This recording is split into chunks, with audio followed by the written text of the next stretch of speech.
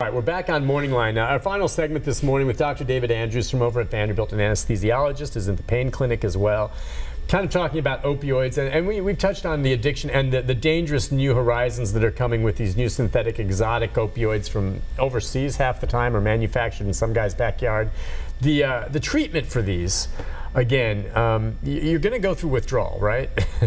Anyone that has this and has been on it for a while? Well, not necessarily. Okay. Um, there are ways to come off it depending on how long you've been on it. All right. And you know, it, it ranges, but about 10% every few days, a re reduction in 10% every few days, you probably won't go through withdrawal. Okay, If so you slowly, slowly not this coming cold down. turkey thing. Right.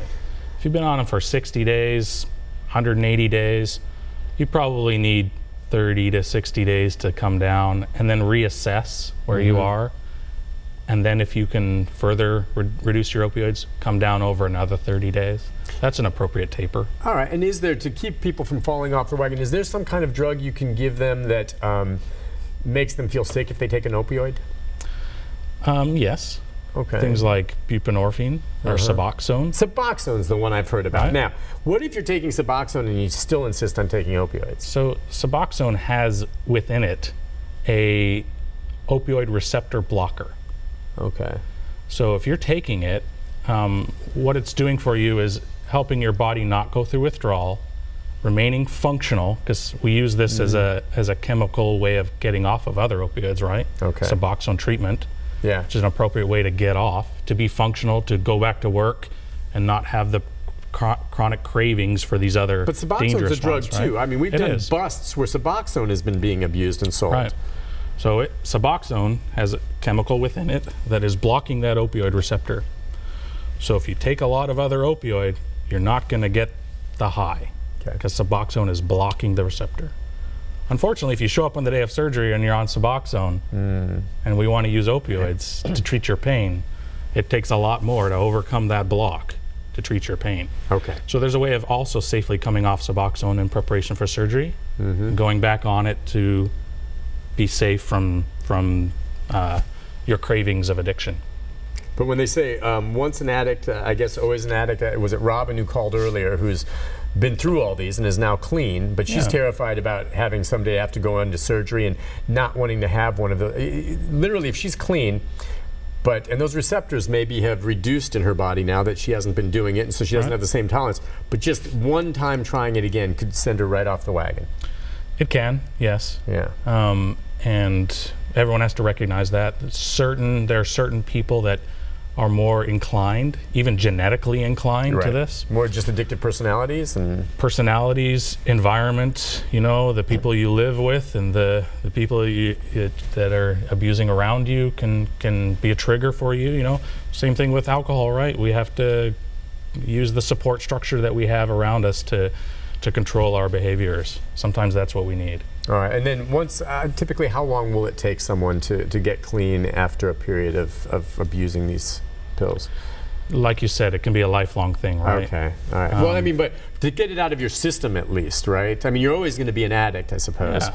But the, I would say if it's your decision to come off of these things and you mm-hmm. do it with the help of a physician and an addiction psychologist, mm-hmm. y- you know, no matter how long you've been off it, you know, or or been on opioids, three to six months, mm-hmm.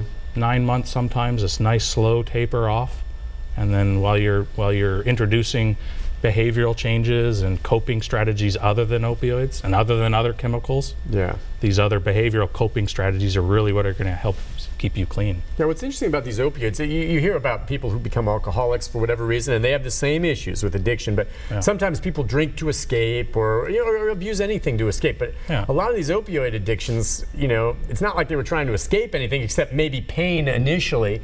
And then it just takes hold of them. It's not, I don't know if it was a thing where, oh, I'm going to take these pills because I just feel lousy. I want to escape something, which some people do with drink. It's, it's, it's a different reason for Yeah. it sometimes. There's a chemical coping Yeah. strategy rather than a what else what you know Right. what else can you do to cope with anxiety and depression and pain? yeah. Well, you know, if you lay in bed too long, you start to feel achy. Well, maybe you shouldn't lay in bed all day. You should get up and move. Mm-hmm. Movement can can can help a lot. So, um, Dr. Tracy Jackson in our community is is an advocate for less chemical coping, more of the evidence-based strategies for treating chronic pain, um, other than the opioids. There are, there's no long-term studies on using chronic opioids to benefit chronic pain. But there are a lot of studies that show the benefits of yoga, of physical therapy and chiropractic manipulation to get those muscles moving again, aqua therapy, we've talked about that before, getting up, being active, finding a reason to get up in the morning and just move. Sometimes you find yourself down in a hole of chronic Yeah. pain, and it's really easy in today's environment to reach for the chemical Right. Than to get up and get your blood moving. God, everyone's different. I, am just curious. Just in, in the years you've been doing this, have you ever seen someone come in, um, and maybe not for obviously some major surgery, but mind over matter, where they say, "Look, I know this is going to hurt, but I'm going to just meditate, and I'm going to get to a higher level, and you go ahead and cut on me."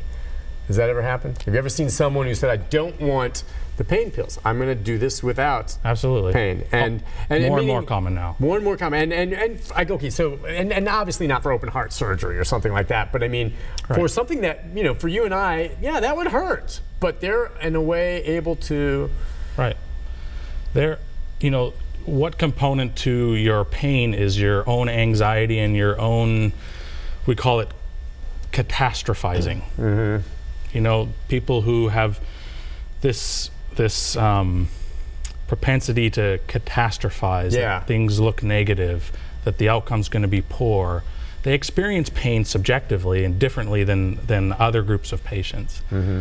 and their reported pain after a surgery is higher than everyone else. Yeah. So if we can help you to reduce your anxiety, therapeutic touch, Yeah. you know, different coping strategies to reduce your anxiety, meditation, prayer, whatever you can do to reduce But that, you you're ha- gonna you're gonna have a better I, outcome. I agree. Did, did you ever? So with the patient, did you ever have a patient like that? Said, "Doc, look, I'm good.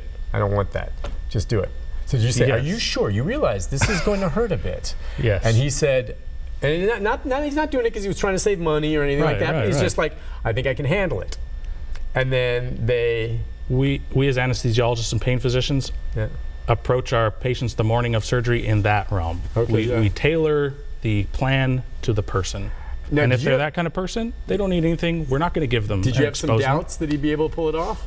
Uh, of course, but people can, And so, and and we know that we can help them do it, and he made it. and they do it. Yeah. Well, and you know, it's interesting. You think about uh, women sometimes going through childbirth. Uh, initially, Right. they'd like natural childbirth, and they say, "I'd like to try to do it without the." Um, um, uh, um, the pain-killing shot, epidural. Right. Thank you, thank you. The epidural, and they'll start, and some succeed, and others will attempt it, and then at some Right. point it gets so great they're like, "Gosh, I think I need it." Which, Well, that's a good point. You bring that up. Look, everyone should look up Tracy Jackson's TEDx talk okay, yeah, called "The Hardest Pill to Swallow." She gives a an example of the pregnant woman.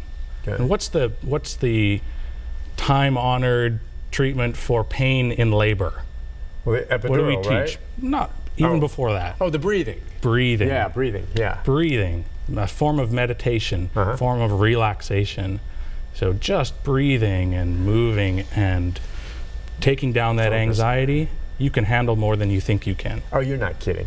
My son Oh. is like that. He's terrified of shots. He thinks he's gonna die. then we finally get him in. A shot, all right? He's a big dude. You know, he's shot. And he gets in there. He goes, Well, that wasn't so bad. It's always You the know- biggest muscular, most muscular guys. Yeah, well, he's not really big muscular, but I mean, I mean he's, he's, a, he's a 16 year old and he still just hates, you know, shots. that but faint with the IV being placed. It's all in here. It's all in your head. Real quick, as we wrap things up, as you look ahead, okay, do you see do you see anything changing with regard to these opioids? Uh, I mean, in terms of as they crack down on one aspect, every time we think we see some success in the crackdown and, and getting it off the streets, there's a new synthetic coming from someplace else. right. I mean, I think that's a lesson we can learn from that, right? okay. What is what? What is that? The lesson is as you we're, we're focusing a lot on you know creating mice trap for this problem mouse traps and as you create smart mou- mouse traps as mitch mutter says in the department of health you get smarter mice so we may end up chasing our tail until we do what we did with the tobacco crisis and just focus more on education when people start coming in and saying help me get off tobacco you know you've reached a turning point. People aren't necessarily coming in right now to say, I've been on this opioid for so long, help me get off. Right. What, what was the turning point in the tobacco industry? We saw commercials all over TV, mm-hmm. funded by pharmaceutical industry, right? Mm-hmm. Saying, you know, the da- the- here are the dangers, here are the black box warnings, and then society started to change their their approach, and people start coming in looking for help. We're not even there yet. Yeah, You're so right. Because the bottom line is, as long as that massive demand from some of these folks exists, there will always Right. be a supplier. And they're clever, and they're always going to find a way to get around the DEA or come up with new drugs and find a way to manufacture them that are more powerful than ever before and ways to get around the system. So, really, and that's my belief. You're never going to be able to stop it. You cannot stop that entirely. What you can hopefully stop is destroy the demand. There's people out there that still smoke today, but gosh, how many fewer, right? Millions of fewer Right. people have quit or never started because of these campaigns. More people are on opioids now than use tobacco. Think about that. Yeah. Think about that. Doc, listen, thank you. You're awesome. I appreciate you coming on, and uh, Always good. To- we'll keep following this, and uh, we'll have you on again sometime soon. You're always good on a number of topics as an anesthesiologist. I would like you as my anesthesiologist if I have to go under. Hey. I'm not sure you could do it, though. I'm good at fighting that stuff off for at least 10 seconds. All right. A that lot, about of, it? a lot of meditation. Yeah, a lot of practice, practice up. Doctor, thank you for coming on. We'll take a break, wrap things up right after this.